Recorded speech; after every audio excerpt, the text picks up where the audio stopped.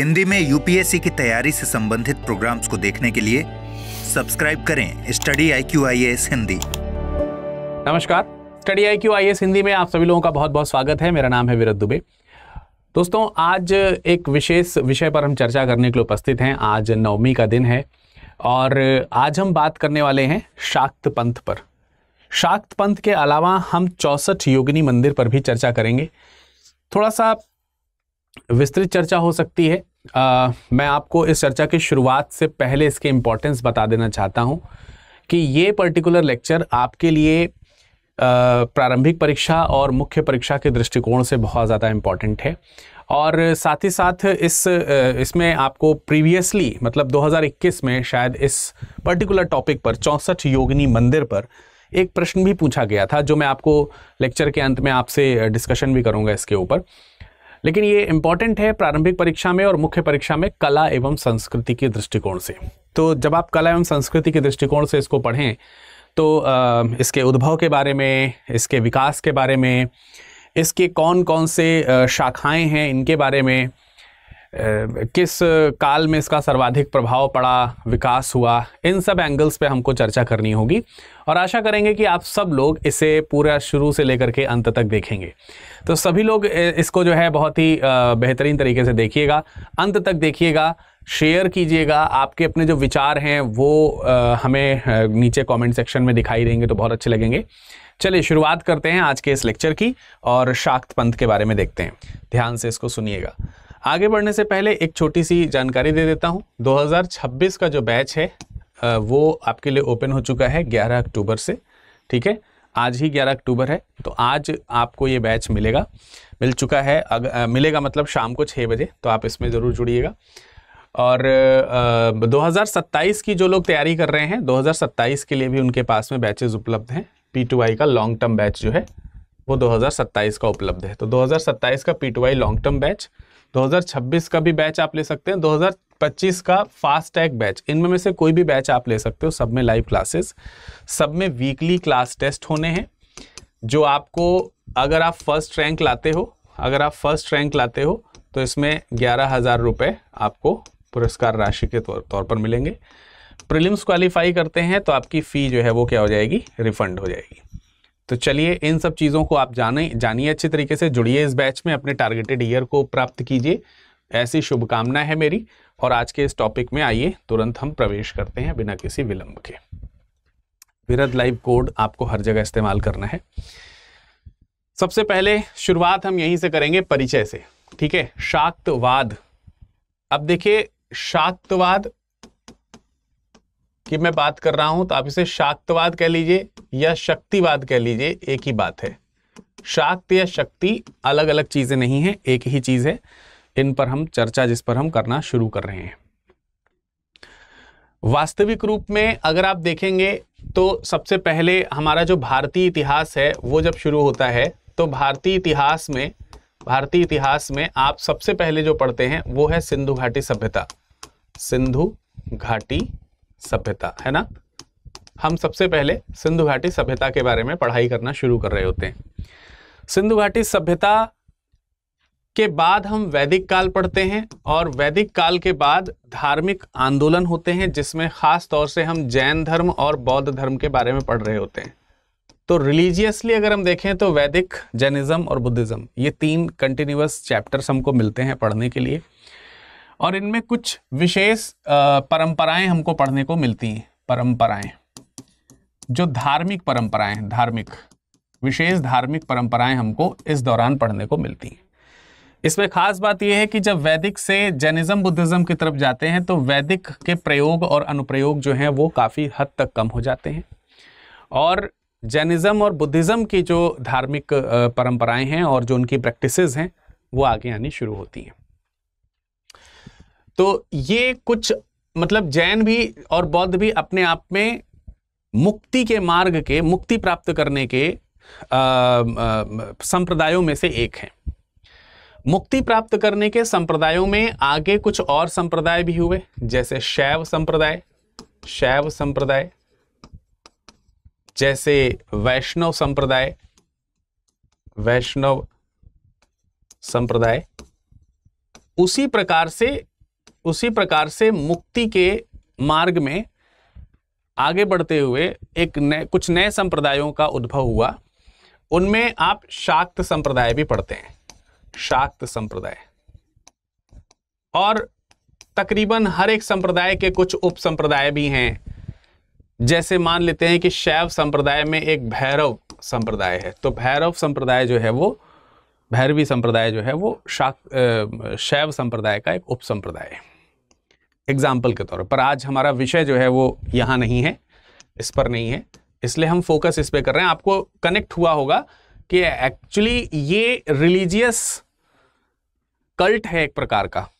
यानी रिलीजियस संप्रदाय है एक प्रकार का, जो आपको यहाँ पर देखने को मिलेगा। इन सभी संप्रदायों में लोग मुक्ति के मार्ग को खोजते हैं और किसी एक पथ या पंथ का, को मानते हुए मुक्ति की तरफ़ बढ़ते हैं। ठीक है, आगे की ओर उनको बढ़ना होता है। ये एक बेसिक फिनोमिना है। और हर एक संप्रदाय में व्यक्ति अपने देवी या फिर देवताओं को अपने मुक्ति के मार्ग का सर्वोच्च पथ प्रदर्शक मानता है, रक्षक मानता है, सहायक मानता है। तो जो शाक्त पंथ है, शाक्त पंथ में शाक्त जो है वो एक प्रकार से देवी पंथ है, ठीक है? यानी देवियों की उपासना का एक संप्रदाय। है हिंदू धर्म का एक संप्रदाय है ये, जो देवी पूजा के पंथ के तौर पर जाना जाता है। और जब हम देवी की बात करते हैं, देवी मतलब जैसे देवता तो देवता का स्त्रीलिंग देवी। देवी का अर्थ यहाँ पर दिव्यता से है। दिव्य माता ऐसी, स्त्री ऐसी, जो दिव्य है। विशिष्ट शक्तियाँ हैं उसके पास में। शक्ति। तो देवी का एक रूप है शाक्त शाक्त में जो शक्ति शब्द आ रहा है, वो कहीं ना कहीं पर्याय कर रहा है उस माता को जिसको हम देवी कह रहे हैं। तो देवी का पर्याय यहाँ पर शक्ति है। और शक्ति के अर्थ जब हम निकालते हैं तो शक्ति के अर्थ हैं बल, ताकत, सामर्थ्य, है ना? आप समझ रहे हैं? इस सब चीज़ों को हम लोग शक्ति के तौर पर जानते हैं। ये सब जानते हैं, सबको मालूम है।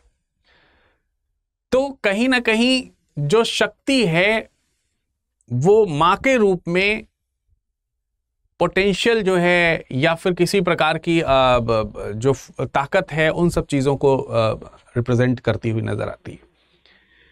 महिला देवी के तौर पर है वो, माता देवी के तौर पर है वो। मतलब स्त्री रूप है, देवताओं का स्त्री रूप। अब इस देवी की हम पूजा करते हैं, इस शक्ति की हम पूजा करते हैं, और शक्ति की पूजा कई सारे रूपों में होती है। बहुत सारे रूप में आपने देखा। अभी वर्तमान समय में नवदुर्गा का आप लोग की पूजा कर रहे हैं तो देवी या शक्ति के नौ रूपों की हम अलग अलग पूजा कर रहे हैं। देवी या शक्ति के नव रूपों की आप पूजा करते हुए नज़र आते हैं। अब इन नौ रूपों में बहुत सारे रूप अब अब हर एक व्यक्ति अपने हिसाब से अब, उनकी पूजा करता है। उनमें से कुछ बहुत फ़ेमस भी हैं और कुछ बहुत सारा बहुत बहुत नाम ऐसे हैं जो बहुत ज़्यादा फ़ेमस नहीं है बट उन्हीं रूपों में से एक है। अब जैसे आप लोगों ने दुर्गा का दुर्गा रूप की पूजा कर रहे हैं आप तो दुर्गा रूप की पूजा क्यों कर रहे हैं? दुर्गा रूप जो है वो दुष्ट निवारणियों दुष्ट निवारणी माता के तौर पर है। दुष्ट निवारण कर दुष्टों का संहार करती हैं वो। दुर्ग, दुर्गा दुष्ट विनाशिनी है। काली का इस्तेमाल काली की पूजा करते हैं आप काली का जो आ, माता काली जो है उनका आप उनका भयानक रूप देखते हैं। वो भी दुष्टों के संहारक के तौर पर है। और एक स्वरूप आपको पालन पोषण करने वाले स्वरूप में पार्वती का भी देखने को मिलता है। पार्वती का स्वरूप आपको एक एक देखने को मिलता है, पार्वती स्वरूप। ये लालन पालन करने के लिए, पालन पोषण करने के लिए बड़े मातृत्व भाव से। इसी तरीके से संसाधनों की पूर्ति के लिए आप देखते हैं कि आप लक्ष्मी की उपासना करते हैं, धन की देवी के तौर पर। विद्या, कला, ज्ञान, विज्ञान, संगीत, इन सब के तौर पर आप वाग्देवी की पूजा करते हैं। वाग्देवी की पूजा करते हैं। सरस्वती आप जिन्हें कहते हैं।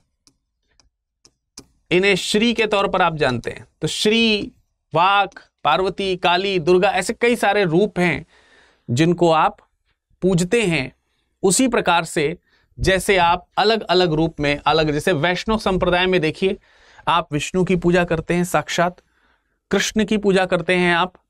तो ऐसे विष्णु के दस अवतार हैं, जिनकी अलग अलग लोग पूजा करते हैं। महाराष्ट्र में चले जाइए, पंढरपुर में। वहाँ पे विठल स्वरूप की पूजा की जाती है। तो जैसे देवताओं के विभिन्न स्वरूप की पूजा है, वैसे ही शाक्तवाद जो है, वो शक्ति की पूजा करता है। और शक्ति के जो अनुयायी हैं फॉलोवर्स जो हैं, वही शाक्त कहलाते हैं। तो शाक्त शक्ति स्वरूप की पूजा करने वाले लोगों का समूह है। तो ओवरऑल आपको यह समझ में आ गया कि शाक्तवाद शाक्तवाद क्या है? है ना? देखिए, ये टॉपिक बहुत ही व्यापक है और मैं बहुत मतलब सद करके आपको बताने का प्रयास कर रहा हूँ। उसका कारण ये है कि किसी भी एक टॉपिक में अगर हम चले जाएँगे जैसे अगर हम इसमें जरा सा भी वैष्णववाद में चले जाएँगे तो अपने आप ये घं, एक घंटे का टॉपिक एक्स्ट्रा बढ़ जाएगा। शैववाद में चले जाएँगे तो एक डेढ़ घंटे का टॉपिक अपने आप बढ़ जाएगा। और शक्तिवाद अपने आप में एक डेढ़ घंटे का टॉपिक है तो तीन चार पाँच घंटे तो आप लगातार नहीं पढ़ सकते इसमें। अगर आपको ज़रूरत पड़ेगी तो आप मुझे कमेंट सेक्शन में कमेंट करके बताइएगा। मैं इनके ऊपर भी अलग से एक आपके सामने केस स्टडी ले आऊँगा और आपको बताने का प्रयास करूँगा। परंतु अभी आप अगर आपको ये लग रहा है कि सर इस चीज़ को अधूरा बता रहे हैं तो इसके पीछे तर्क मैं आपको यही दे रहा हूँ। तर्क यही है कि इसको यहाँ पर कंप्लीट करना उचित नहीं होगा। ठीक है? ठीक है? तो चलिए, आगे बढ़ते हैं। आप इस चीज़ को थोड़ा सा ध्यान रखेंगे, समझेंगे। अब हम लोग ये समझने का प्रयास करेंगे कि आखिर शक्तिवाद जो है, उसकी उत्पत्ति के बारे में हम क्या जानते हैं। उसको आइए समझने का प्रयास करते हैं। देखिए, इतना आपको समझ में आ गया मोटे मोटे तौर पर कि शक्ति का मतलब देवी। मोटे मोटे तौर पर क्या समझ में आ गया? शक्ति का मतलब देवी। और देवी का मतलब यह हो गया कि देवी स्वरूप शक्ति में जो है। अब जब भी हम उत्पत्ति के बारे में जानते हैं तो हम कहीं ना कहीं साक्ष्य ढूँढने का प्रयास करना शुरू कर देते हैं। अब साक्ष्य दो तरीके से, जनरली प्राचीन समय में, प्राचीन समय के कभी भी कोई भी साक्ष्य आप ढूँढने चलोगे तो आपको या तो चित्र के तौर पर देखने को मिल जाएगा। कहीं पे कोई चित्र हो प्राचीन, है ना? कहीं पर कोई प्राचीन चित्र हो, या फिर कोई मूर्ति इत्यादि हो जब हम इस संदर्भ में बात करते हैं। तो प्राचीन चित्र या मूर्ति इत्यादि ही हम अपने संदर्भ में यहाँ पर ले सकते हैं। ऐसे में आधुनिक प्रयागराज जो है, वर्तमान में प्रयागराज जिसे थोड़े समय पहले इलाहाबाद कहते थे और पहले प्रयाग के नाम से जानते थे, उस प्रयागराज में बहुत पुरानी एक देवी की मूर्ति मिली है जो आप कुछ यहाँ पर देख सकते हैं ये।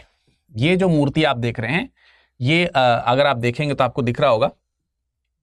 और यहीं पर आपका ये ज, ये जो जगह है ये प्रयाग है। ये जो जगह है कौन सी है? ये आपकी प्रयाग जगह है प्रयाग। तो इस प्रयाग में ये जो मूर्ति मिली है ये मूर्ति काफ़ी पुरानी मूर्ति मूर्ति है। मतलब बहुत ही ज़्यादा पुरानी मूर्ति है ये ठीक है? काफ़ी पुरानी मूर्ति के तौर पर हम इसको देख सकते हैं। और एक मिनट रुकेगा और ये जो मूर्ति है, ये तकरीबन इतनी पुरानी है कि आप इसे पाषाण कालीन मूर्ति के तौर पर भी लोग, कई सारे लोग देखते हैं। उच्च पुरा पाषाण काल जो है, उससे मेलजोल खाती हुई है। इसके अलावा कई ऐसी जगहें हैं, जहाँ से कुछ ऐसे ट्रायंगुलर शेप के रंगीन पत्थर मिले हैं, जो देखने में लगता है कि किसी तंत्र का इस्तेमाल यहाँ पर किया गया हो। तो आपने देखा तांत्रिक देवी का दे, देवी के लिए आपने कई सारे तंत्र विधि सुने होंगे। या आप उसकी पूजा पाठ हो सकता है करते भी हों स्वयं भी। जैसे आप लोगों ने और वो तंत्र जो है किसी न किसी यंत्र पर आधारित होते हैं। तंत्र किसी न किसी यंत्र पर जैसे लक्ष्मी के लिए आप देखते हैं श्री यंत्र रहता है श्री यंत्र। बहुत सारे लोग अपने दुकानों में, घरों में पूजा पाठ के स्थानों में श्रीयंत्र लगाकर लगते हैं शुभ के लिए, श्री की प्राप्ति के लिए। तो उसमें भी अगर आप देखोगे ना ट्रेंगुलर शेप के बहुत सारे इस तरीके के वो बने रहते हैं उसमें। तमाम सारी रचनाएँ बनी रहती हैं त्रिभुज के आकार की। और ये भी अति प्राचीन तरीके के ट्रेंगुलर शेप के इस तरीके की चीज़ें मिलना जो ये इंगित करता है कि शायद तांत्रिक विधियों का प्रयोग कर, करा जाता था और संभवतः इसको भी लोग शाक्त पूजा या शक्ति पूजा से जोड़ते हैं। ये संभावनाओं में है इसमें कोई दो राय नहीं है। अगर हम चित्र की बात करें तो वर्तमान समय में आंध्र प्रदेश में आंध्र प्रदेश में आंध्र प्रदेश के पूर्वी तटों के आ, के पास जो है कुछ प्राचीन समय के चित्र जो हैं वो मिले हैं जिसमें देवियों की चित्र निर्मित हैं। तो प्राचीन चित्र प्राचीन मूर्तिकला, मूर्तियाँ मिलना ये रिप्रेजेंट करता है कि केवल हम ये ना माने। देखिए, ज़्यादातर मूर्ति उपासना हम लोग ये मान के चलते हैं कि गुप्त काल से शुरू होती हैं। मंदिर की पूजा जो है वो गुप्त काल से होनी शुरू होती हैं। बहुत ज़्यादा। लेकिन इसका मतलब ये नहीं कि हिंदुज़म में शक्ति पूजा भी वहीं से शुरू हो रही हो। तो अगर हम उत्पत्ति में चलें तो काफ़ी प्राचीन समय से देखने को मिलती है। लेकिन वास्तविक रूप में ये पूर्णतः प्रमाणित नहीं है। ऐसा माना जाता है कि हो सकता है कि ऐसा रहा हो। ऐसा ऐसा लग सकता है। उत्तर प्रदेश में मिर्ज़ापुर इलाके में चले जाइए, इलाहाबाद के थोड़ा सा आगे ही। वहाँ पर भी बहुत सारे पुराने आपको प्राचीन साक्ष्य ऐसे मिल जाएँगे, जो आपको लगेगा कि इसमें भी लोग देवी उपासना शायद उस समय के लोग करते थे। और वो भी करीब पाँच छः हज़ार साल पुराने हैं, उनके भी साक्ष्य। मेहरगढ़ की बात कर लीजिए तो मेहरगढ़ जो बलूचिस्तान में है पाकिस्तान में वहाँ पर भी लगभग पाँच हज़ार पाँच सौ ईसा पूर्व छोटी महिलाओं की मूर्तियाँ बरामद की गई हैं। अगर आप आ, मैं आपको डायग्राम में दिखा पाऊँ तो जरा देखिए। कितनी सार कितनी सारी जो है मूर्तियाँ आपको यहाँ पर देखने को मिलेंगी जो देवी मूर्ति के तौर पर है। देवियों की मूर्तियाँ देवियों की मूर्तियाँ। ये मेहरगढ़ से प्राप्त हुई हैं। ठीक है देखिए मेहरगढ़ से प्राप्त हुई हैं ज़्यादातर। कुछ एकाद इसमें जो है वो मुंडी काक और कुछ अन्य जगहों की भी मैंने मतलब लिखी हुई कंबाइंड फ़ोटो है, लेकिन ज़्यादातर आपको मेहरगढ़ की मूर्तियाँ जो है वो देखने को मिल रही हैं। बहुत सारी। अब इन मूर्तियों को देखिए आप, ये मेहरगढ़ है। ये ये लोकेशन आप मेहरगढ़ में देख रहे हैं। भारत का पश्चिमोत्तर इलाका जो है, जो संयुक्त भारत हुआ करता था उसमें। तो वहाँ पर साढ़े पाँच हज़ार साल पुरानी छोटी छोटी महिलाओं की मूर्तियाँ जो है वो मिल रही हैं। बरामद हुई हैं। इन मूर्तियों को इन मूर्तियों के जब आ, समय का पता लगाया जाता है तो कुछ लोग इसे नवपाषाण काल के आसपास का मानते हैं। न्यूलिथिक एज जिसको हम कहते हैं वहाँ का वहाँ के आसपास का मानते हैं। थोड़ा थोड़ा सा आप और आगे बढ़ जाइए तो आपको सिंधु घाटी सभ्यता में बहुत सारी देवियों की पूजा करते हुए देवियों देवियों की मूर्तियाँ जो है आपको देखने को मिलेंगी। और सिंधु घाटी सभ्यता में तो इंडस वैली सिविलाइजेशन में तो मैक्सिमम घरों में आपको महिलाओं की मूर्तियाँ देखने को मिलेंगी। और आपने खूब पढ़ा होगा कि मातृ देवी की उपासना करते थे वो लोग। मातृ देवी की उपासना। तो मैं आपसे यही कह रहा हूँ कि जब हम देवी की उपासना को शक्ति की पूजा से जोड़ते हैं तो शाक्तिज्म के साक्ष्य हमको इंडस वैली सिविलाइजेशन और उसके पहले के भी देखने को मिलते हैं। बट वो सब चीज़ें अभी रिसर्च के अंदर हैं। उनकी वास्तविकता का पता तब लगेगा जब वास्तविक तौर में उस सभ्यता के बारे में ठीक ठीक जानकारी मिल जाएगी। परंतु स्पष्ट उदाहरण आपको देखने को मिल रहा है, कितनी सारी मूर्तियाँ हैं जो इंडस वैली सिविलाइजेशन से हमको मिलती हैं, सिंधु घाटी सभ्यता से हमको मिलती हैं। ठीक है? ये तो मुझे दिया गया है स्टूडियो। एक बार आप पता करें।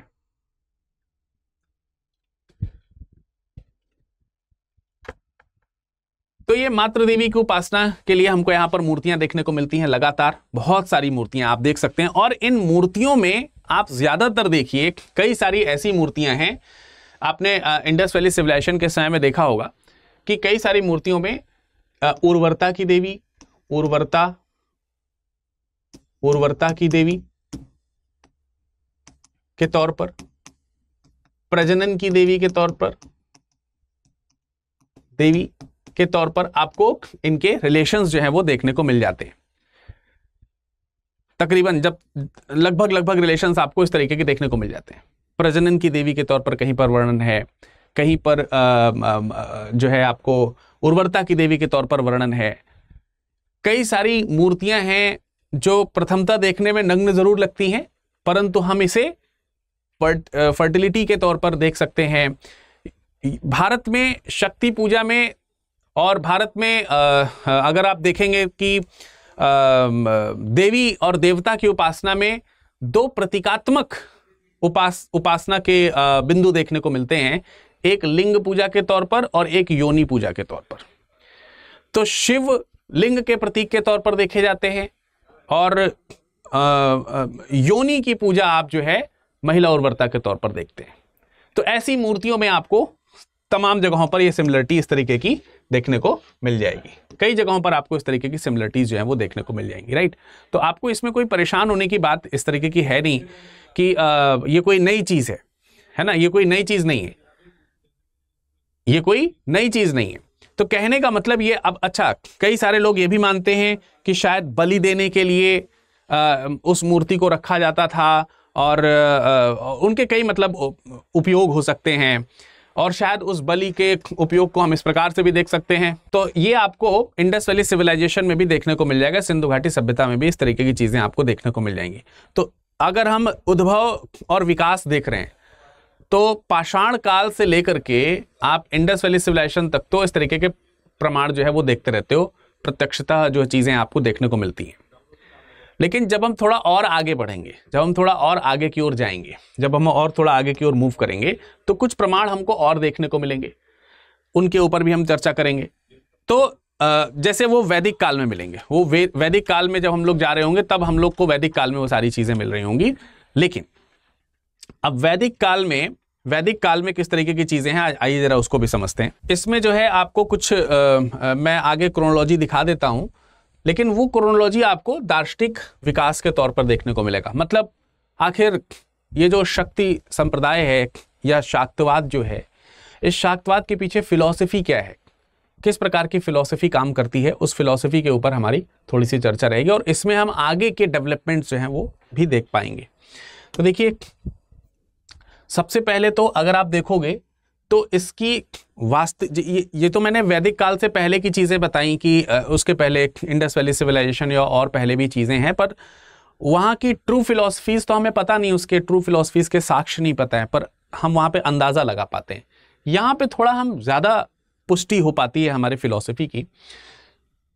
जैसे वैदिक युग की बात करें तो वैदिक काल जो कि 1500 से 1000 1500 से 600 ईसा पूर्व के आसपास आपको देखने को मिलता है इसमें अगर आप देखोगे तो इसके दार्शनिक विकास की शुरुआत हमको यहाँ वैदिक युग से देख, देखने को मिल जाएगी। वैदिक काल से देखने को मिल जाएगी। क्यों? क्योंकि वेदों में शक्ति के बारे में वर्णन किया गया है। शक्ति या देवी जो है उनका वर्णन हमको देखने को मिलता है। कुछ देवियों के नाम आपको वेदों में देखने को मिल जाएँगे।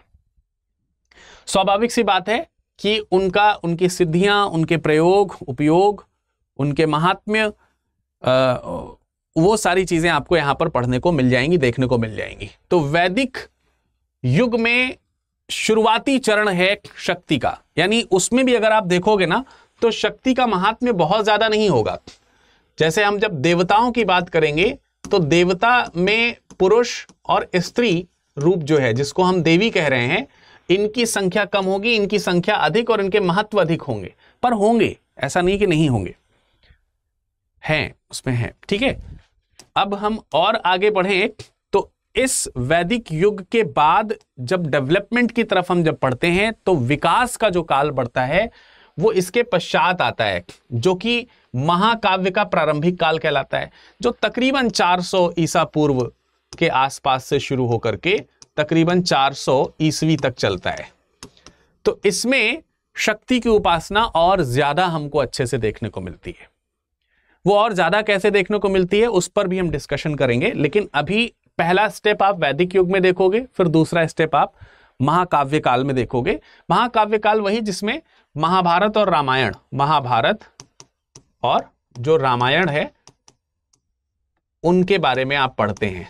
तो महाभारत और रामायण वाला जो एपिक वाला जो एरा है वो।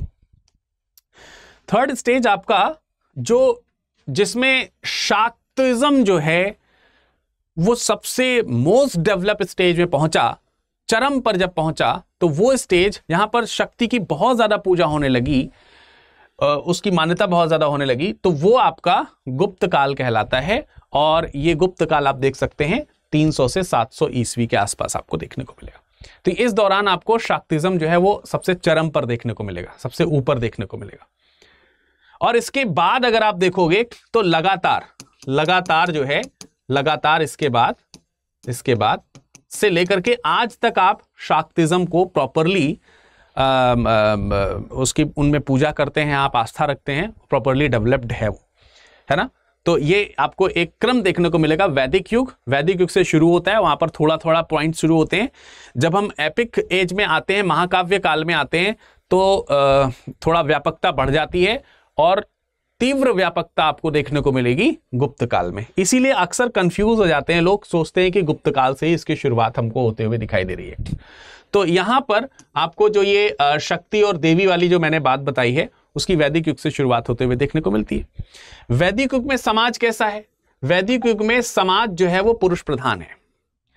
लेकिन अगर हम वैदिक युग के प्रारंभिक काल की बात करें, प्रारंभिक समय की बात करें यानी कि ऋग्वैदिक काल की बात करें तो ऋग्वैदिक काल में महिलाओं की दशा ठीक है, उत्तर वैदिक काल में महिलाओं की दशा थोड़ी ज़्यादा बिगड़ गई। तो वैदिक युग जो है वो कैसा है, पुरुष प्रधान है, लेकिन महिलाओं का स्थान वहाँ पर है, ऐसा नहीं कि नहीं है, यानी कि फीमेल डायटीज जो हैं वो हैं, महिला देवी जो हैं वो उपस्थित हैं, वही चीज़ मैंने आपको बताया, पुरुष और स्त्री के रूप में है, लेकिन स्त्रियों की पूजा थोड़ी कम है, पर है इंपॉर्टेंस है, पर है। अच्छा कई जगहों पर इनका जो देवत्व है, महिलाओं का जो देवत्व है, वो देवत्व कुछ अधीनस्थ स्थान पर देखने को मिलता है, जैसे देवताओं की पत्नी के रूप में या अर्धांगिनी के रूप में। ऐसा कई बार देखने को मिलता है। अधीनस्थ देवी देवताओं के तौर पर हमको स्थान देखने को मिलता है। इसीलिए यहाँ पर मैंने बताया कि जब यहाँ पर उत्पत्ति हो रही है तो वो, ये उत्पत्ति है, इसमें बहुत ज़्यादा व्यापकता नहीं मिलेगी। इसके बाद जो अधीनस्थ है, वो स्वतंत्र और अधीनस्थ दोनों स्वरूप में आपको दिखाई देगी। और फिर स्वतंत्र रूप में आपको देखने, गुप्त काल में एकदम स्वतंत्र तौर पे आपको देखने को मिल जाती। तभी आज की डेट में हम जब नवरात्रि की पूजा कर रहे हैं, आज की डेट में जब हम नवरात्रि मना रहे हैं, आज नवा दिन है, कल विजयादशमी है है ना? कल हम लोग विजयादशमी मनाएँगे, वो दशहरा एक अलग त्यौहार है, वो मनाएँगे तो एक अलग बात है। तो ये जो नौ दिन हम पूजा कर रहे हैं, इसमें सिर्फ़ देव, देवी की ही पूजा हो रही है किसी और की पूजा हो रही कि नहीं? नहीं। लेकिन जब हम दीपावली में जाएँगे, दीपावली में जब आप जाएँगे तो आप देखेंगे वहाँ पर श्री की पूजा हो रही, लक्ष्मी की, लेकिन फिर गणेश जी की भी पूजा हो रही है। हो रही है ना? गणेश जी की भी पूजा हो रही है। पर वहाँ पर पत्नी के रूप में पति पत्नी के रूप में नहीं, वो तो माता और पुत्र हो गया ना, वहाँ पर रिलेशन लगे मतलब मैं आपको बता रहा हूँ कि ये जो चीज़ है, ये गुप्त काल से थोड़ी ज़्यादा बढ़ गई। ठीक है ना? ये पॉइंट्स आपको समझ में आए? तो वैदिक युग में तो इस तरीके का डेवलपमेंट है। इंडस वैली सिविलाइजेशन में अगर हम पुराने समय में थोड़ा सा देखें तो वहाँ पर द्रविड़ धर्म के जो लोग हैं, द्रविड़ धर्म या सिंधु घाटी सभ्यता में देवी अदिति का नाम वहाँ पर लोग लेते हैं और अदिति का नाम आपको वैदिक काल में भी देखने को मिलेगा। अदिति का नाम आपको वैदिक काल में भी देखने को मिलेगा। और अदिति की बड़ी खास इंपॉर्टेंस है मतलब बड़ी खास जगह है अदिति की। अब अदिति के साथ साथ अन्य देवियों के भी नाम मैंने आपको यहाँ पर दिखा दिए हैं, जो वेदों में आपको देखने को मिल जाएँगे। ऋग्वेद में खास तौर से देखने को मिल जाएँगे। ऋग्वेद में ये कुछ नाम हैं, जो इंपॉर्टेंटली आपको देवियों के तौर पर दिखाई देते हैं। जैसे अदिति जो है, ये देवताओं की माता के तौर पर, देवताओं की माता के तौर पर इनको दिखाया गया है। इसके अलावा इनके प्रति मान्यता ये भी रखी जाती है कि अदिति मतलब सीमा रहित, असीम, अनंत। तो फ़र्स्ट गॉडेस ऑफ़ इंफिनिटी के तौर पर अगर देखा जाए तो अदिति के तौर पर जाना अदिति को जाना जाता है। तो अदिति का भी महत्व बहुत ज़्यादा है अदिति की भी इंपॉर्टेंस बहुत ज़्यादा है। तो ये बात हो गई अदिति के लिए। अरण्यानी ये वन की देवी है, आर्यानी प्रेम और उर्वरता की देवी है, अप्सरा सुंदरता, शालीनता और आकर्षण की देवी है, पृथ्वी, इनका भी मान सम्मान बहुत है। तकरीबन 33 प्रकार की देवियों का नाम आपको सुनने को मिलेगा। तकरीबन तैतीस प्रकार की देवियों का नाम। रात्रि ये रात की देवी हैं, सरस्वती जो सुर की देवी कहलाती हैं, शुरुआत में ये एक नदी के तौर पर जानी जाती थी और सरस्वती एक नदी भी है। इसीलिए आज को आपका मालूम है कि जो इंडस वैली सिविलाइजेशन है, उसे इंडस सरस्वती सिविलाइजेशन के नाम से जाना जाने लगा। अभी लेटेस्ट अपडेशन हुआ था एनसीईआरटी में, उसमें सिंधु सरस्वती सभ्यता का नाम वहाँ पर दिया गया है। तो सरस्वती नदी की देवी के तौर पर थी, बाद में विद्या की देवी और वाक देवी के तौर पर इनको जाना जाना शुरू कर दिया गया। उषा का भी बहुत इंपॉर्टेंट योगदान है। भोर की देवी के तौर पर इनको जाना जाता है। इला प्रसाद की देवी तो ऐसी कई सारी देव, देवियों का नाम आपको वैदिक युग में देखने को मिलेगा। इसके अलावा, अगर आप देखेंगे, इसके अलावा अगर आप देखेंगे तो कई नाम आपको, एक मिनट। ठीक है, कई जो है आपको जो वेदों के अंतिम भाग हैं, जिनको हम वेदांत कहते हैं, है ना? वेदों के जो अंतिम भाग हैं, वेदांत, उसमें देखने को मिलेंगे। उपनिषद की अगर हम बात करें, वेदांत या उपनिषद, ये क्या है? वेदों के अंतिम भाग है, उपनिषद। उपनिषद का मतलब क्या है? उपनिषद। निषद मतलब पास में बैठना। उप मतलब पास में, निषद मतलब स्थान ग्रहण करना। तो पास में स्थान ग्रहण करना, गुरु के समीप बैठ करके स्थान ग्रहण करने की अवस्था को उपनिषद कहा जाता है। और उपनिषदों में उपनिषदों की संख्या को लेकर के बहुत सारे तथ्य हैं। कई सारे लोग ऐसा मानते हैं कि मोटे मोटे तौर पर तकरीबन तकरीबन 200 के आसपास उपनिषद हैं जो ज्ञात हैं। तकरीबन तकरीबन। लेकिन इनमें से लगभग एक दर्जन के आसपास यानी 11, 12 या 13 मुख्य उपनिषद हैं। कई जगहों पर 11 मुख्य उपनिषद लिखे रहते हैं, कई जगहों पर 13 मुख्य उपनिषद लिखे रहते हैं। तो ये 13 मुख्य उपनिषद जो है वो यहाँ पर लिखे हैं, आप देख सकते हैं। अब उपनिषद में शक्ति का क्या स्थान है? क्या उपनिषद में भी कोई रेफरेंसेस हमको शक्तवाद के मिलते हैं? बिल्कुल मिलते हैं। तो ये तो तेरह हो गए। इनमें वैसे वैसे वैसे अगर देखा जाए तो मोर देन 200 या 200 के आसपास उपनिषद है। उसमें भी 108 की मान्यता ज़्यादा है, उसमें भी 13 की मान्यता ज़्यादा है। तो जो 108 उपनिषद हैं, उन 108 उपनिषदों की लिस्ट जो है, लिस्ट जो है, सूची जो है, वो आपका मुक्तिका उपनिषद या मुक्तिकोपनिषद में देखने को मिलती है। मुक्तिकोपनिषद जो है, वो 108 उपनिषदों की एक लिस्ट जो है, वो देता है, पूरी की पूरी। और वो जो ये लिस्ट देता है 108 उपनिषदों की, उन 108 उपनिषदों की सूची में आप देखेंगे ये आप देखिए कि तेरह, ये जो 108 उपनिषद है, वो किस प्रकार से जरा देखिए। इसमें से देखिए, तेरह जो है, वो मुख्य उपनिषद है। 21 उपनिषद सामान्य वेदांत के हैं 18 उपनिषद संन्यास के हैं 14 उपनिषद वैष्णव के हैं 14 उपनिषद शैव है और 20 उपनिषद योग है। इन्हीं में आठ उपनिषद शाक्त हैं। इसी में आठ जो है उपनिषद के कौन से हैं? शाक्त उपनिषद हैं। यानी कि देवी या शक्ति के आठ स्वरूपों के ऊपर आठ उपनिषद हैं। मतलब आ, के स्वरूपों के ऊपर टोटल आठ उपनिषद हैं। आठ स्वरूप नहीं टोटल स्वरूपों के ऊपर आठ आठ उपनिषद लिखे गए यानी कि उपनिषदों में भी आपने शक्ति को शक्ति का जो उद्भव है वो आपको देखने को मिलेगा उसकी उत्पत्ति के स्रोत आपको देखने को मिलेंगे। ये बहुत इंपॉर्टेंट है। तो आप इसको देखिए, तकरीबन आप इसको इस तरीके से देख सकते हैं, ये आठ जो उपनिषद शाक्त के हैं, वो कौन कौन से हैं? एक है सीता उपनिषद। हर उपनिषद किसी न किसी वेद से रिलेटेड है। जैसे सीता उपनिषद जो है, वो अथर्ववेद से रिलेटेड है। त्रिपुरा तापनी अन्नपूर्णा उपनिषद, ये भी अथर्ववेद का है। देवी उपनिषद, ये भी अथर्ववेद का है। त्रिपुरा, ये ऋग्वेद का है। भावना ये अथर्वेद का है। सौभाग्य लक्ष्मी ये ऋग्वेद का उपनिषद है। सरस्वती रहस्य ये आप लोगों ने जो यजुर्वेद है, दो प्रकार के यजुर्वेद पढ़े होंगे। एक कृष्ण यजुर्वेद है, कृष्ण।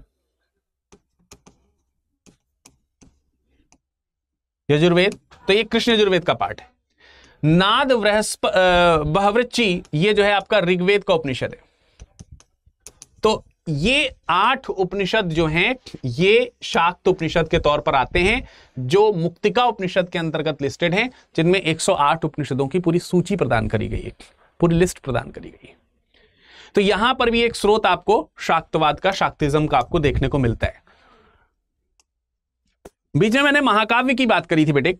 तो महाकाव्य काल जो 400 ईसा पूर्व से 400 ईस्वी के ईसा पूर्वी लिख गया ईस्वी है ये बेटा। ठीक है, ईस्वी के आसपास का है। तो दो प्रकार के महाकाव्य हैं, एक है महाभारत और एक है रामायण। रामायण में और महाभारत में दोनों में शक्ति की उपासना है। दोनों में शक्ति केंद्रित काव्य है एक। ऐसा नहीं कि शक्ति केंद्रित काव्य नहीं जैसे एक महाभारत में आप देखेंगे तो महाभारत में आपको इसमें दुर्गा श्री और अंबिका। दुर्गा, श्री और अंबिका। माता अंबा। जगदम्बा जिसको कहते हैं। पूरे जगत की माता के तौर पर अंबिका। श्री जो कि लक्ष्मी है। और दुर्गा जो कि दुष्टों का निवारण करती हैं।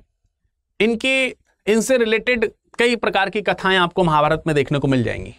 इसी प्रकार से आप रामायण में देखेंगे तो रामायण में माता सीता रामायण में भगवान राम जी की जो पत्नी है, माता सीता, वो एक लोकप्रिय देवी के तौर पर वहाँ पर अपना स्थान ग्रहण करती है। तमिल महाकाव्य है शिलप्पाधिकारम उसमें भी देवी सीता के महात्म्य की बात करी गई है। उसमें बताया गया है शिलप्पाधिकारम में कि किस प्रकार से दक्षिण में भी देवी पंथ जो है वो जाता है इसी दौरान, दक्षिण भारत भारत के दक्षिणतम हिस्से में। शक्तिवाद का प्रचार जो है इसके अलावा आप देखेंगे पुराण। ये बहुत इंपॉर्टेंट सोर्स हैं जो आपको आगे के डेवलपमेंट के बारे में बताते हैं और जनरली जो पुराण है, ये गुप्त काल से बिलोंग करते हैं। यहाँ पर इनका डेवलपमेंट थोड़ा ज़्यादा हुआ है। इसीलिए देख सकते हैं आप 300 से 600 सौ ईसा पूर्व के आसपास के। जब वहाँ पर गुप्त साम्राज्य में जो धार्मिक संकलन वगैरह जब होने लगे पुराणों के तौर पर, अगर हम देखेंगे तो तो उनको उनकी बहुत लोकप्रियता है। बड़े लोकप्रिय हैं वो।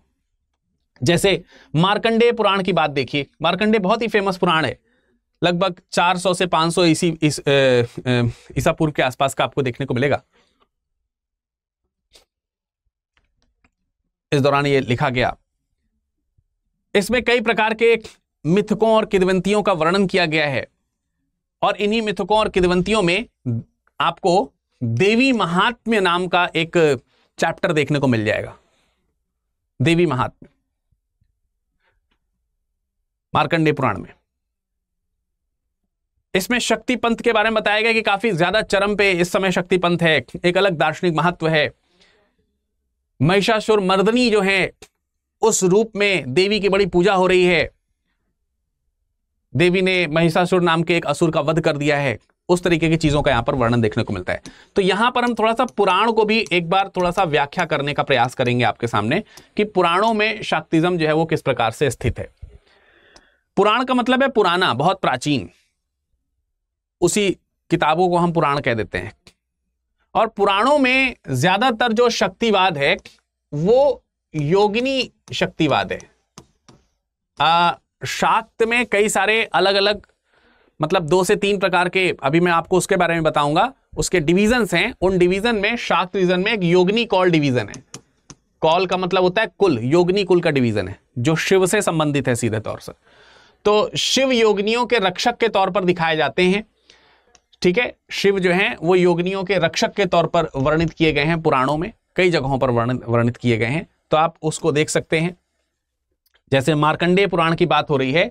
मार्कंडेय पुराण, अभी मैंने थोड़ी देर पहले आपको बताया था, ये एक ऐसा पुराण है जिसमें शक्ति और ब्रह्मांड के रिलेशंस बताए गए और ये बताया गया है कि ब्रह्मांड जो है पूरा, संपूर्ण ब्रह्मांड जो है, उस ब्रह्मांड की रचना उसकी रक्षा और उसका विनाश, ये सब देवियों के हाथ में है।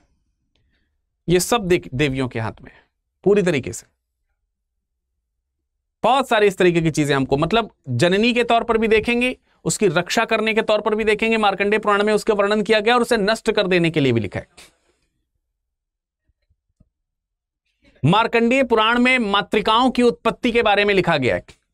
मातृकाएँ क्या हैं? मातृकाएँ बेसिकली योगनी स्वरूप जो होती हैं, उनको मातृकाओं के तौर पर लिखा गया है। योगनी स्वरूप, यानी देवियों का योगनी जो स्वरूप है, उसको मूर्ति के रूप पर, मूर्ति के रूप में जब लाया गया तो मातृकाएँ, मातृकाओं के तौर पर उनको कहा जा रहा है। तो उस स्वरूप का वर्णन आपको देखने को मिलता है। महाभागवत पुराण की बात करें तो इसमें काली जी के निवास का वर्णन किया गया है, महाभागवत पुराण में। महाभागवत पुराण में काली जी के निवास का वर्णन किया गया है। बहुत विशाल नगर में में काली रहती हैं, उसमें चार प्रवेश द्वार हैं, चारों प्रवेश द्वारों में सिंह बनाए गए हैं। बीच में माता जो है वो सिंह पे सवार होकर के बैठी हैं। चौसठ योगिनियाँ जो हैं वो उनकी सहचारी के तौर पर उनके पूरे उनके पूरे महल के चारों ओर हैं तो वो चौसठ योगिनियाँ हैं। चौसठ योगिनियों का एक वर्णन आपको महाभागवत पुराण में देखने को मिलेगा। और इन्हीं चौसठ योगनियों पर पूरे नगर, उस नगर जिसमें ये देवी रहती हैं, काली, उसकी रक्षा का पूरा भार है। इसी तरीके से अगर आप देखेंगे तो कुछ वर्णन हमको मत्स्य पुराण में भी देखने को मिलता है। मत्स्य पुराण में अंधक दैत्य की कहानी दी गई है।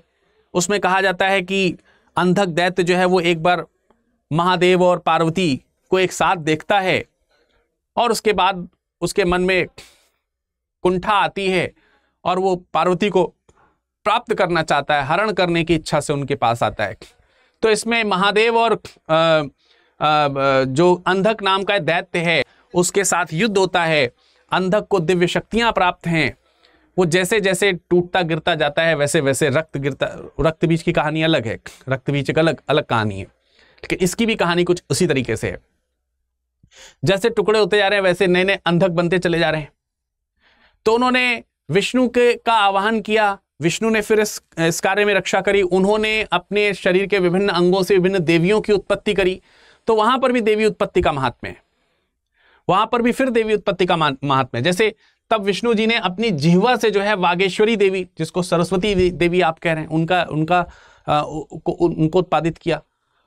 हृदय से माया गुहे प्रदेश से भगमालिनी और हड्डियों से काली जो शक्ति है, उनका उत्सर्जन होना शुरू होता है। तो कहने का मतलब यह है कि ये आपको मत्स्य पुराण में भी शक्ति के स्वरूप आपको देखने को मिल जाएँगे। अन्य चीज़ें भी हैं, पर हैं। अग्नि पुराण की बात करें, अग्नि पुराण की बात करें तो अग्नि पुराण में चौसठ योगनियों का उल्लेख किया गया है। जैसे आपने महाभगवत पुराण में भी देखा था, वहाँ से भी आपको देखने को मिल जाएगा।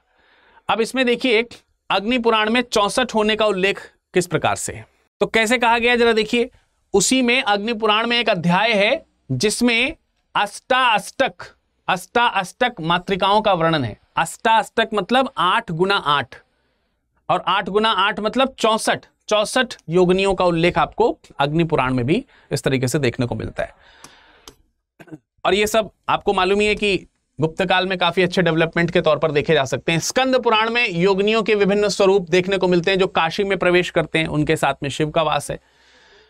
कालिका पुराण कालिका पुराण में चौसठ योगिनी के मंदिरों का वर्णन भी किया गया है। तो ये उसके प्रमुख रेफरेंस के तौर पर है। आपको भारत में चार जगहों पर चौसठ योगिनी मंदिर देखने को मिल जाएँगे उसमें से। तो उनके स्थानों का वर्णन कालिका पुराण में किया गया है। देवी पूजन के साथ साथ योगिनियों की पूजा की भी बात इसमें करी गई है। आधुनिक रूप में देखें तो राजतरंगिणी में योगिनियों के मध्य, मध्यप देवता के तौर पर इनको दिखाया गया। मध्यप देवता मतलब रक्त का पान करने वाली। रक्तपान करने वाली। देवी के तौर पर दिखाया गया। कथा सरित सागर। बता सकता है कोई कमेंट सेक्शन में? जरा कमेंट करके बताइए, कथा सरित सागर किसकी रचना है? कथा सरित सागर में शर्भाना योगिनी की कथा जो है, वर्णित करी गई है। कहते हैं कि इसमें शर्भाना योगिनियों का वर्णन किया गया है। एक महाराजा है, विद्याधर विद्याधर की कहानी इसमें लिखी गई कि विद्याधर की एक बेटी हुआ करती थी। उनको ये देवियाँ जो है वो आकाश में बड़ी तेज़ी से उड़ा ले गई थी। उसकी एक बड़ी विशिष्ट कहानी है, किसी भविष्यवाणी के आधार पर यह काम किया गया था। आप लोगों ने वेताल पच्चीसी के बारे में सुना होगा, या वेताल पंचविंशति के बारे में सुना होगा। उसमें भी कहानी आपको देखने को मिलती है। इसमें विक्रमादित्य जो है वो तोते का स्वरूप धारण करके कहा, कथानक को सुनते हैं। उत्तम चरित्र कथानक है एक। उत्तम चरित्र कथानक में एक नृत्यांगना है जिसका नाम है अंग सेना और एक राजकुमार है जिनका नाम है उत्तम चरित्र। उनकी कथा का वर्णन मिलता है, इनको आपस में प्रेम हो जाता है। तो ये अपनी शक्तियों का प्रयोग करके जो अंग सेना है, ये एक योगिनी भी है तो अपनी शक्तियों का प्रयोग करके वो उत्तम चरित्र को अपने वश में रखती हैं और उनके गले में एक धागा डाल देती हैं तो वो तोता बन जाते हैं और जब उनको साथ चाहिए होता है तो वो धागा हटा देती है, फिर मानव बन जाता है। तो ऐसे करके ये एक कथा आपको देखने को मिलती है। मालती माधव, जो भवभूति की कथा है, नाटक है, उसमें सुदामिनी नामक जो है एक योगिनी का वर्णन है। तो आप देखिए कितने सारे टेक्स्ट हैं, जो तकरीबन तकरीबन वैदिक काल के माफ़ कीजिएगा गुप्त काल के आसपास आपको देखने को मिलेंगे, जिसमें इनका वर्णन होते हुए दिखाई देता है। तो बहुत सारा आपको इसके रिसोर्सेस के तौर पर, उद्भव के तौर पर चीज़ें देखने को मिली। शक्तिज्म के टाइप्स की अगर हम बात करें प्रकार की बात करें शाक्त संप्रदाय के प्र, प्रकारों की बात करें तो ये एक काफ़ी अच्छा पॉइंट है जो आपको ध्यान रखना चाहिए। शक्तिज्म में तीन प्रकार के संप्रदाय आपको देखने को मिलेंगे। और ये तीन संप्रदाय कौन कौन से हैं? एक है आपका लौकिक संप्रदाय। लौकिक मतलब जो सबसे प्रारंभिक है लोक संप्रदाय। और तब जब जनजाति के तौर पर लोग हैं आ, कहीं पर आ, इस तरीके से कि जहाँ पर वन क्षेत्र इत्यादि हैं, वहाँ पर जो पूजा पाठ, आज भी जहाँ पर लोग इस तरीके की पूजा पाठ करते हैं, एक संप्रदाय है जो उसका बिलीव है इसमें। दूसरा जो है, तांत्रिक या यौगिक कॉल इसी को बोला जाता है। इसमें तंत्र मंत्र का थोड़ा सा प्रयोग किया जाता है, और ये दूसरा संप्रदाय, और तीसरा संप्रदाय जो है, वो माता को भक्ति के तौर पर दिखाया जाता है। तो जो आप अभी वर्तमान में माता का स्वरूप देख रहे हैं, आप देवियों की जो उपासना कर रहे हैं, वो उपासना ना तो ये वाली है, ना ये वाली है, बल्कि ये वाली है। भक्ति उपासना के तौर पर अभी आपने देवी का जो नौ दुर्गा के रूप आपने देखे, जो आपने नवरात्रि की पूजन किए, उसमें माता को भक्तिमय तरीके से आपने पूजा है। यही तो किया है ना? तो इसके ये तीन संप्रदाय आपको देखने को मिलेंगे, ठीक है? ये तीन संप्रदाय आपको यहाँ पर देखने को मिलेंगे। एक लोक संप्रदाय है, आदिवासी संप्रदाय के तौर पर इसको जाना जा सकता है। दूसरा तांत्रिक यौगिक संप्रदाय है। सबसे उत्कृष्ट और क्लिष्ट तौर पर इसी में है और आज के तो, आज के दौर पर बड़ी आसानी से जो लोग जिस उपासना को करते हैं देवी की वो उपासना इस रूप में है बहुत ही आसानी से। यहाँ पर मतलब थोड़ा सा आपको योग क्रिया आनी चाहिए। मतलब एक होता है ना कि हमने तो घर बैठे भगवान की स्तुति करी और एक होता है कि हम वन में जा के स्तुति करें वहाँ पर योग करा वहाँ पर आवाहन किया हमने देवी देवताओं का तो दोनों में डिफरेंस है तो वो उस तरीके की चीज़ है। ठीक है? अब ज़रा देखिए इनके डिफरेंसेस को हम यहाँ पर जो टाइप्स है उसको थोड़ा सा हम और बताने का प्रयास करते हैं, समझ, समझाने का प्रयास करते हैं। जैसे सबसे पहले अगर हम बात करें लोक शाक्त की लोक शाक्त यानी कि वो आदिवासी जो लोग हैं, जो शक्ति की पूजा करते हैं, उनके तौर पर अगर हम देखें, सबसे प्राचीन रूप आपको यही देखने को मिलेगा क्योंकि ये सबसे प्राचीन है, सबसे प्राचीन लोग हैं। उनके यहाँ शक्ति की उपासना के जो तरीके हैं, वो सबसे पुराने तरीके हैं। लेकिन यह तरीका कब आया, इसका कोई ज्ञान नहीं ये है, क्योंकि इसके कोई लिखित प्रमाण नहीं है। मौखिक प्रमाण आपको मिलते हैं। रीजन बिकॉज़ कि इनका जो प्रोपगेशन है, वो थोड़ा सा मौखिक है। इनकी पूजा पाठ के जो तरीके हैं, वो लिखित नहीं है। वो एक पीढ़ी सीखती है कि ऐसे हमारे यहाँ देवी कुल देवी होती हैं, उनकी वो उस कुल देवी की पूजा करते हैं, अर्चना करते हैं। फिर अगली पीढ़ी भी उसी परंपरा का पालन करते हुए उसको, उस पूजा अर्चना को बढ़ाती है। तो उसका कोई वैसा विधान नहीं जो आपको कहीं पर साक्ष्य के तौर पर देखने को मिल जाएगा। इसीलिए इसकी उत्पत्ति जो है स्पष्ट नहीं है। तो अब ये पूजा करते किसकी है?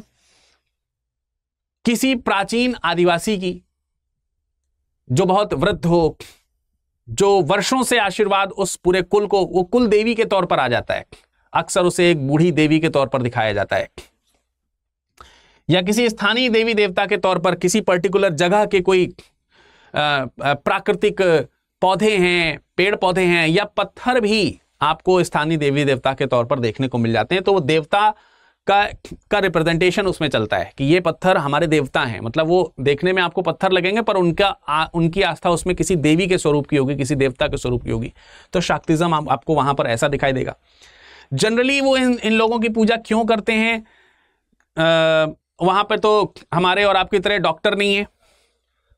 वो पूरा बिलीव करते हैं अपने अपनी आस्था पर पूरा उनको विश्वास है और उनकी आस्था शक्ति पर है। शक्ति से वो शक्ति प्राप्त करके उनका विश्वास है कि तो तमाम प्रकार की बीमारियाँ हैं, वो उससे दूर हो सकते हैं, बीमारियों को ठीक करने के लिए, जिसको तंत्र झाड़ फूक भी कह सकते हैं आप, उस तरीके की चीज़ें करते हैं। इसके अलावा प्रजनन क्षमता के लिए, ये हमेशा से चला आ रहा है, आपने पुराने समय में भी पढ़ा होगा। आज भी कई सारे लोग सुनने को मिल ही जाता है, ये तो जब किसी को संतान उत्पत्ति होती है तो ईश्वर की कृपा है। तो जब कभी नहीं संतानोत्पत्ति हो रही है तो उसके लिए भी आप देवी पूजा कर रहे हैं। या फिर पूर्वजों की आत्माओं से छुटकारा पाने के लिए। कई बार ऐसा भी आपको देखने को मिलता है कि पूर्वज जो है, उनका चित्त शांत नहीं है और उनके चित्त शांति के लिए हम देवी की उपासना कर रहे हैं। ये सारी चीज़ें आपको यहाँ पर देखने को मिलेंगी। और ये आपने कहीं ना कहीं फ़िल्मों में, कहानियों में पुराने लोगों से, अपने दादी दादा से इस तरीके की चीज़ें सुनी होंगी। इनमें कई सारे स्वरूप हैं देवी के, जिनकी पूजा वो करते हैं। काली की पूजा करते हैं, चंडी की पूजा करते हैं, मनसा की पूजा करते हैं, शीतला माता की पूजा करते हैं, सबके अलग अलग रूप में पूजा करते हैं। जैसे अगर आप देखेंगे तो काली की पूजा की जा रही है। शक्ति की प्राप्ति के लिए वो काली की पूजा कर रहे हैं। पावर, ताकत प्राप्त करने के लिए। चंडी की उपासना कर रहे हैं। जैसे ज़्यादातर जब शिकार शिकार के लिए या शिकारी वगैरह जो है ना उस सब चीज़ों के लिए चंडी की उपासना कर रहे हैं। हालाँकि इसका दूसरा रूप दुष्ट संहारक के तौर पर भी है। मनसा देवी की उपासना करी जा रही है एक जैसे सर्पों की देवी के तौर पर। उनका कुल जो है, उसका उत्सर्जन जो है, वो सर्पों से देखने को मिल रहा है। शीतला माता की उपासना कर रहे हैं। आप लोग आज भी देखेंगे कई सारे गाँवों में आज भी शीतला माता की उपासना नीम के पेड़ के नीचे की जाती है। और ये खास तौर से तब ज़रूर करी जाती है जब किसी को आ, वो क्या बोलते हैं चेचक चेचक के जो बीमारी हुआ करती थी पहले। वो बीमारी अगर हो रही है तो शीतला माता की पूजा करी जा रही है। तो ये सब चीज़ों के लिए। कई जगहों पर कुल देवता, ग्राम देवता या ग्राम देवी के तौर पर रखे जा रहे हैं तो वो ग्राम देवता, ग्राम देवी के रूप में पूजा करी जा रही है। तो ये ये उपासना आपको देखने को मिलती है। उपासना कराने वाले लोगों में कुछ परंपरागत पुजारी होते हैं, या फिर कुछ ओझा प्रवृत्ति के लोग होते हैं जो झाड़ कराते हैं। जैसे बीमार, ओझा का मतलब ही हो गया, वो थोड़ा सा झाड़ कराने वाले सुपर तरीके से चीज़ों को करने वाले जो लोग होते हैं वो। इसके अलावा ये कई जगहों पर हवन कुंड यज्ञ कुंड बना करके गहन तपस्या, उपासना इन सब में लीन रहते हैं। उनका उद्देश्य होता है कि हम देवी से शक्ति प्राप्त करने के लिए उनकी उपासना कर रहे हैं। तो वो यज्ञ कर्म करते हैं, ध्यान कर्म करते हैं। तो ये आपका पूरा का पूरा फिनोमिना जो है वो किससे रिलेटेड है? आदिवासी लोग से रिलेटेड है। फिर आप तांत्रिक योग की अगर हम बात करें तो तांत्रिक योग जो है, जैसे मैंने आपको बताया कि जो जो इसके पहले जो मैंने आपको आदिवासी या फिर लोक जो कुल बताया था, उससे अलग हट करके ये है। उसमें आपको समय उत्पत्ति का नहीं मालूम था, लेकिन इसकी उत्पत्ति का समय लगभग सिक्स सेंचुरी से नाइन्थ सेंचुरी के बीच में माना जाता है। और नाइन्थ सेंचुरी से तो काफ़ी ज़्यादा आगे फिर प्रोपोगेटेड है, काफ़ी अच्छे से आगे चलता है। तो कुछ टेक्स्ट हैं जो आपको सिक्स सेंचुरी के देखने को मिल जाते हैं, जो तांत्रिक तत्व जिसमें शामिल हैं। कुछ तांत्रिक ग्रंथ जो हैं आपको उनके लेखन नवी शताब्दी के आसपास देखने को मिल जाते हैं।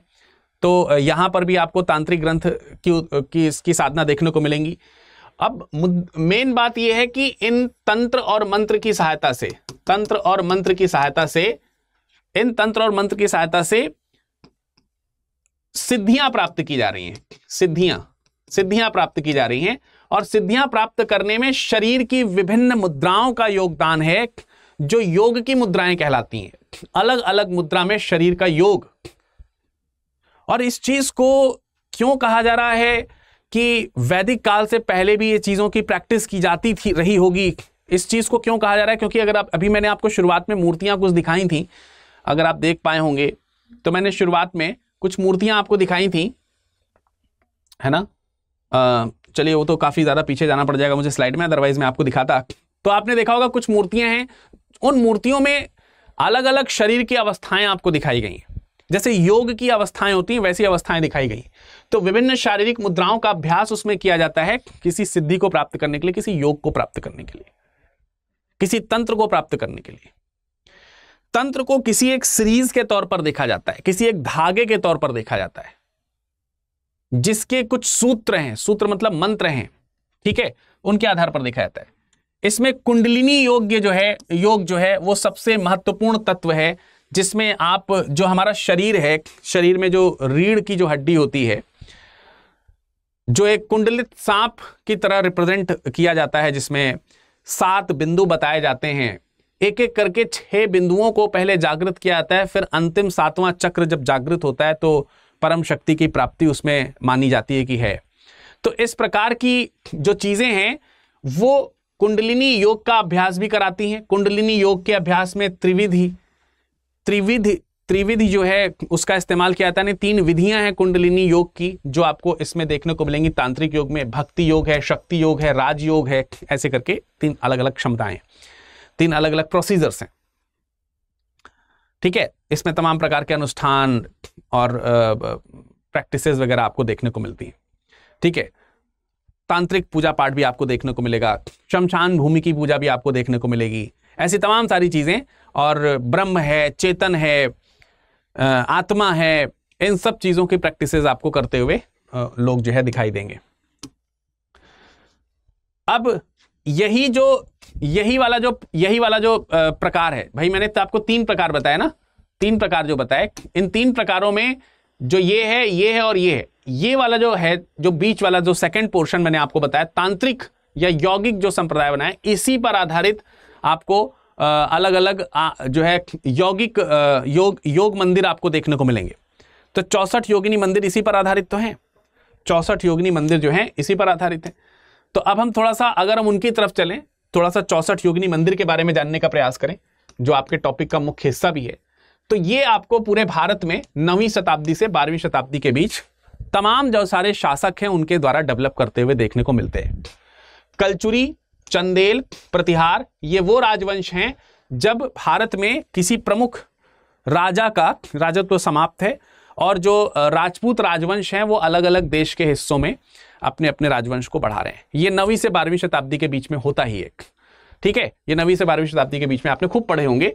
इनमें कई जगहों पर ऐसे राजा हैं जो किसी विशेष धर्म को एक्सेप्ट करते हैं, उसके बावजूद भी दूसरे जो जो कल्ट हैं, दूसरे जो समुदाय हैं, संप्रदाय हैं, उनको भी संरक्षित करते हैं। तो इसका अर्थ आप ये नहीं निकालेंगे कि ये जो राजा हैं, जिन्होंने इन मंदिरों के डेवलपमेंट किया है, वो उनकी आस्था सीधे तौर पर इस शाक्त संप्रदाय में रही होगी या नहीं रही होगी। ये डिपेंड करता है कि वो राजा कौन है और उनके बारे में अलग अलग पढ़ के ही पता चलेगा।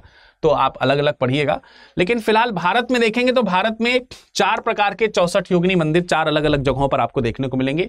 एक मिलेगा हीरापुर में, जो आप यहाँ पर देख रहे हैं, हीरापुर, ये आपका उड़ीसा में है। उड़ीसा में। दूसरा आपको रानीपुर झारियाल मंदिर आपको देखने को मिलेगा, चौसठ योगिनी मंदिर है यह भी आपको उड़ीसा में ही देखने को मिलेगा यह भी आपका उड़ीसा में है। खजुराहो में, एमपी में, एमपी खजुराहो में आपको एक चौसठ योगिनी मंदिर देखने को मिलेगा, जो कि जबलपुर में है, जबलपुर में, खजुराहो में, जबलपुर में। जबलपुर। और एक आपको एमपी में ही ग्वालियर में मुरैना जगह पड़ती है। मुरैना, ग्वालियर। ठीक है, ग्वालियर। वहाँ पर मितौली या मितावली मितावली, ये आपको एक चौसठ योगिनी मंदिर देखने को मिलेगा। इनमें से ज़्यादातर जो चौसठ योगिनी मंदिर हैं, ये वृत्ताकार हैं। छोटे बड़े आकार के हो सकते हैं, वो एक अलग बात है। पर ज़्यादातर ये वृत्ताकार मंदिर हैं, जिसमें से ये एक ऐसा टेंपल है जो आपको ग्वालियर में देखने को मिलेगा, जो आपको ग्वालियर में देखने को मिलेगा। मैं इसको थोड़ा सा बड़ा करके भी आपको दिखा देता हूँ। अगर आप इसे देखेंगे तो ऐसा लगेगा जैसे भारत की संसद जो पुरानी वाली थी ना, वो भारत की पुरानी संसद की तरह इसका स्ट्रक्चर उसके pillars internal part central part सब कुछ आपको वैसा देखने को मिलता है। इसलिए कई जगहों पर यह कहा गया, कई जगहों पर इस चीज़ की व्याख्या करी गई। और जब अभी नया संसद भवन बन रहा था, तब भी इस चीज़ को लेकर के बहुत सारे लोगों ने चीज़ें कहीं बताई कि जो ये मंदिर है, इसके आधार पर ही भारत का संसद बनाया गया था और इस वजह से दूसरा मंदिर दूसरा संसद बनाया जाना उचित नहीं है। ये हिंदू धार्मिक आस्था के विपरीत कार्य भी हो सकता है।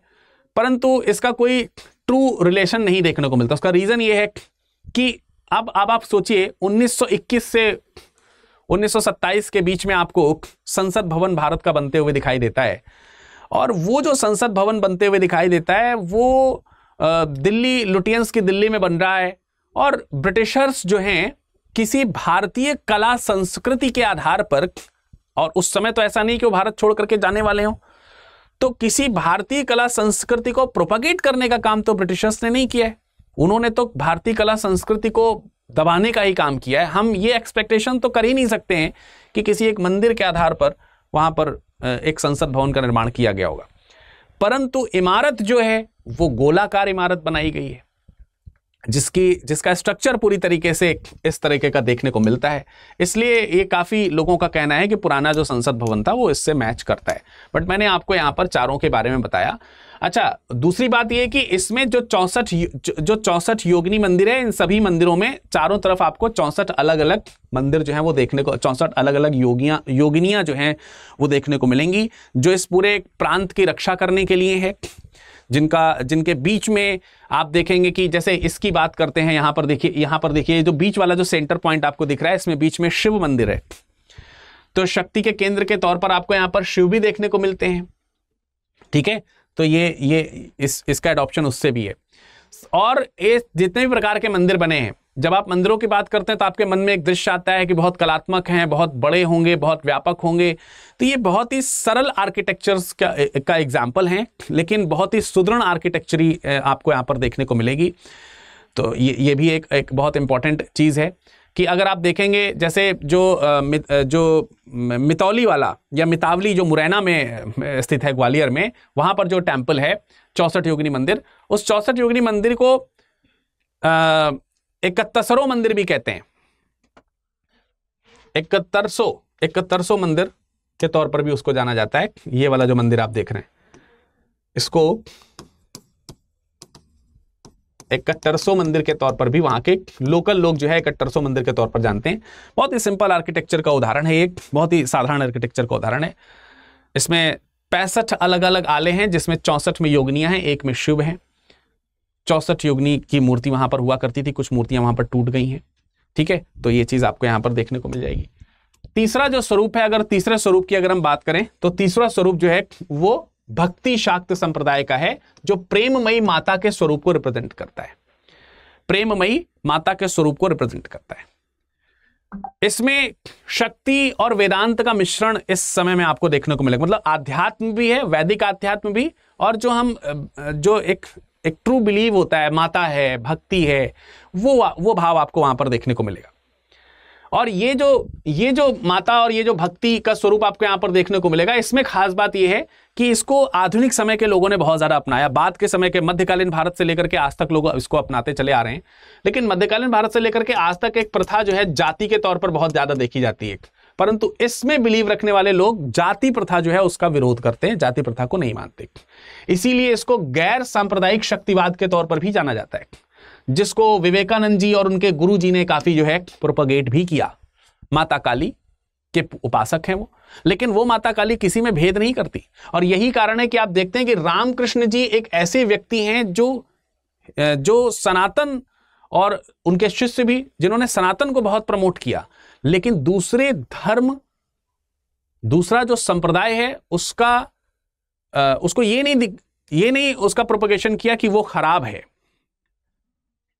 सर्वधर्म संभाव वाली जो भावना है, वो लेकर के चलने का काम इन लोगों ने किया है। शाक्तवाद का जब हम अध्ययन करते हैं तो ये तो हो गए तीन प्रकार से तीन प्रकार के जो शाक्तवाद हैं, वो मैंने आपको बता दिया। इसका जब हम अध्ययन करेंगे, इसके बारे में जब हम पढ़ेंगे तो आपको बहुत सारे सोर्सेज बहुत लंबा इतिहास है। मैंने भी जब इसको पढ़ा तो बहुत सारा था। अभी भी ये वीडियो थोड़ा सा लेंदी हो गया है, पर इसको तीन चार घंटे और बोलने का कोई सेंस नहीं है। ये आपके सेल्फ स्टडी का पार्ट होना चाहिए।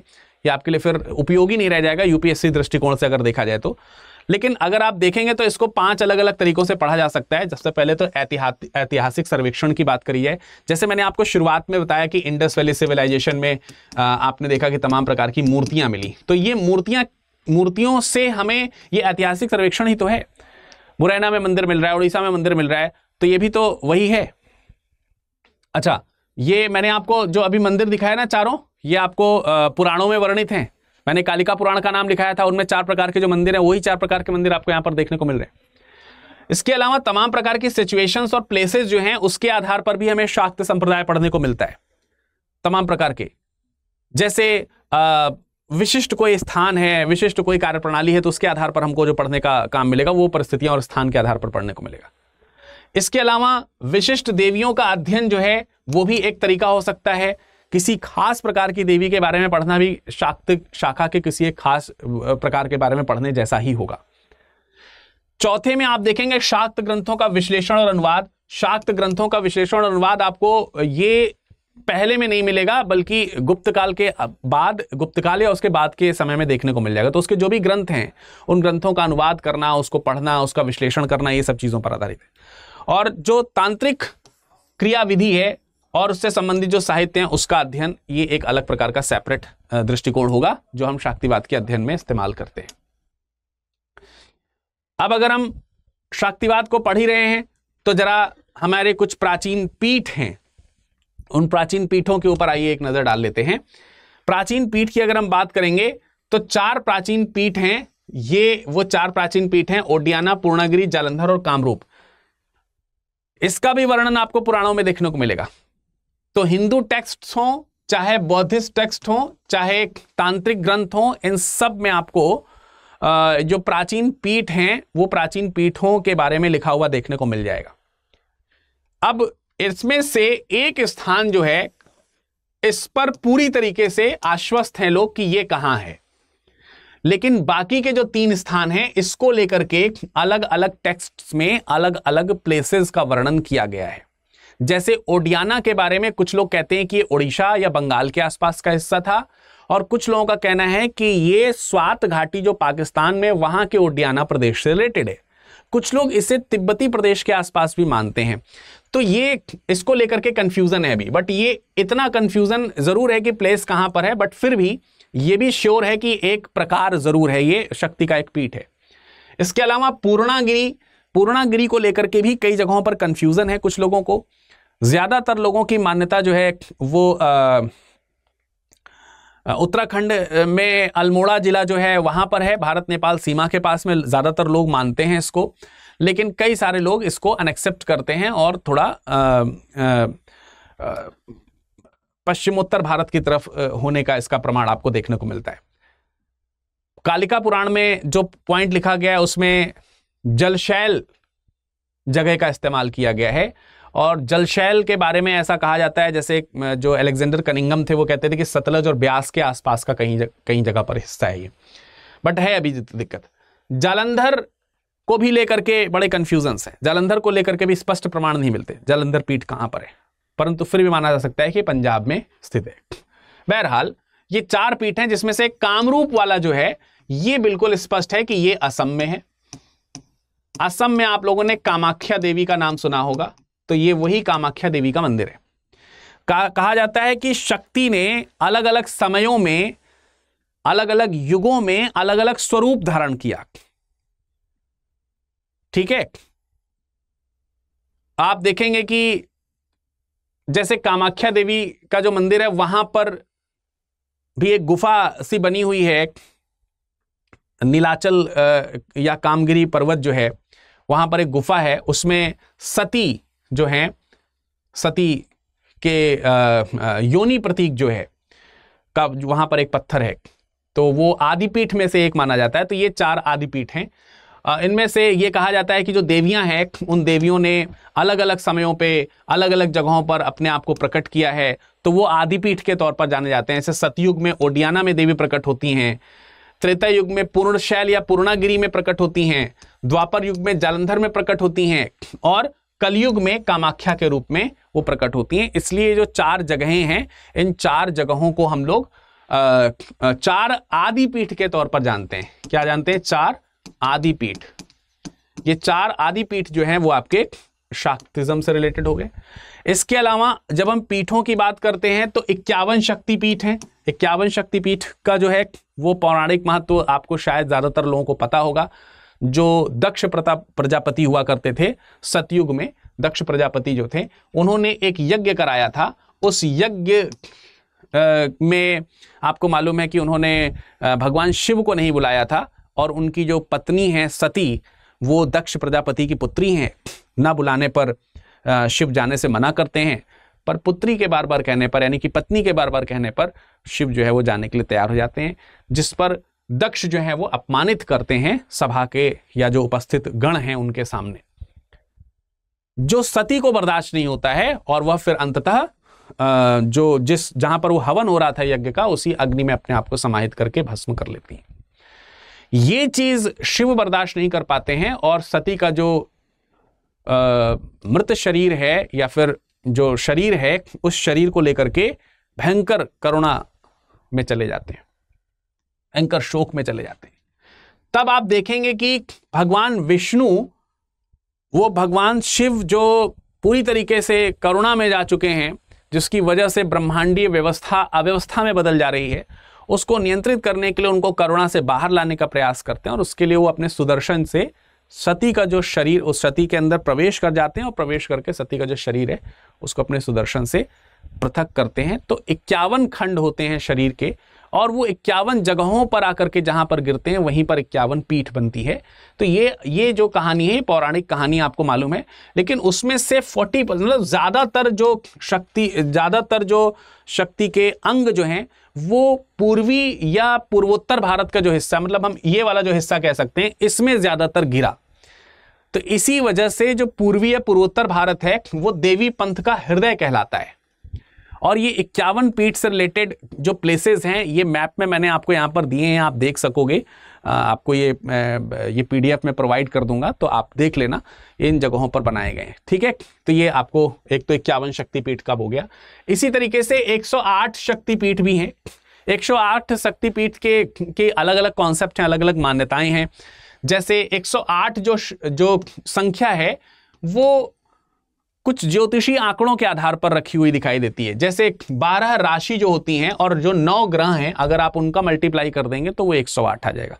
तो कुछ उससे रिलेटेड है।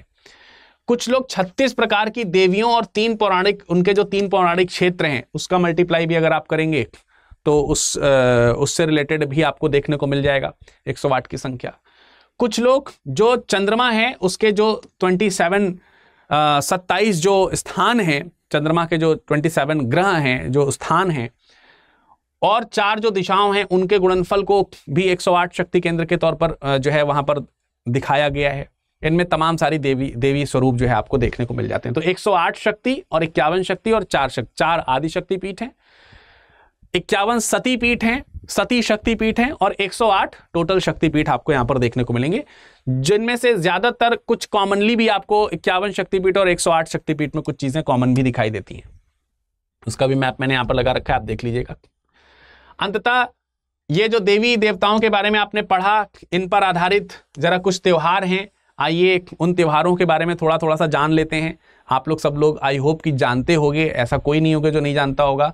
नवरात्रि जनरली बताइए जरा, जनरली आप कितनी नवरात्रि मनाते हैं? जनरली हम दो नवरात्रि मनाते हैं। एक अभी जो शारदीय नवरात्रि कहला रही है, जिसमें आज नवमी है। एक तो ये वाला है नवरात्रि। देवी दुर्गा के जो नौ अवतार हैं, उनको नौ रातों में हम लोग जो है नवरातों में हम उनकी उपासना करते हैं, इसलिए नवरात्रि कहलाता है। वैसे तो तीन प्रकार के मौसम होते हैं, लेकिन भारत में आप देखेंगे, चार प्रकार के मौसम आपको देखने को मिलेंगे। और उसके अकॉर्डिंग जो है अलग अलग नवरात्रि भी देखने को मिलेंगी। जैसे एक शारदीय नवरात्रि आपको देखने को मिलता है। शारदीय जो नवरात्रि है, वो अभी जो अक्टूबर और नवंबर का माह है, सितंबर, अक्टूबर का जो माह है, उसमें आपको देखने को मिलता है। फिर उसके बाद एक बसंत बसंत की नवरात्रि भी आपको देखने को मिलेंगी, जो बसंत के समय में आपको देखने को मिलती है, मार्च, अप्रैल में। फिर एक माघ की नवरात्रि है, माघ नवरात्रि है माघ नवरात्रि, ये थोड़ा सा जनवरी, फरवरी में रहती है, इसको बहुत बहुत सारे लोग नहीं मनाते। हैं ज़्यादातर अगर आप देखेंगे तो शारदीय नवरात्रि सबसे ज़्यादा मनाई जाती है। इसके अलावा चैत्र के जो नवरात्रे हैं जो जिनको हम वसंत नवरात्रि के तौर पर देखते हैं, वो ज़्यादा मनाए जाते हैं। हालाँकि आषाढ़ में भी नवरात्रि का समय रहता है, मई, जून जून, जुलाई के आसपास। परंतु ज़्यादातर हम लोग ये शारदीय और वसंत वाला मनाते हैं। दुर्गा पूजा दुर्गा पूजा में आप देखते हैं माता दुर्गा की उपासना जब उन्होंने महिषासुर का वध किया तो इसी उपलक्ष्य में मनाया जाता है कि महिषासुर का वध किया है उन्होंने। उस रूप में पूजी जाने वाली जो दुर्गा जी हैं, उनकी उपासना होती है। पूर्वी भारत में आप देखेंगे, बंगाल में बड़ी पूजा होती है। दीपावली जो धन की देवी लक्ष्मी की उपासना के लिए आपको देखने को मिलता है। प्राथमिक तो यही है प्राथमिक तौर पे देखेंगे अक्टूबर नवंबर में हम लोग जो नवरात्र जो द, द, क्या नाम है दीपावली मनाते हैं वो वास्तविक रूप में लक्ष्मी की पूजा के तौर पर है।